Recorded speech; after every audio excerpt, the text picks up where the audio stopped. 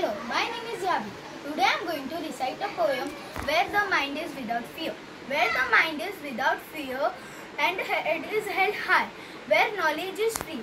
Where the world has not been broken up into fragments by domestic by narrow domestic walls. Where the words come out from the depth of truth.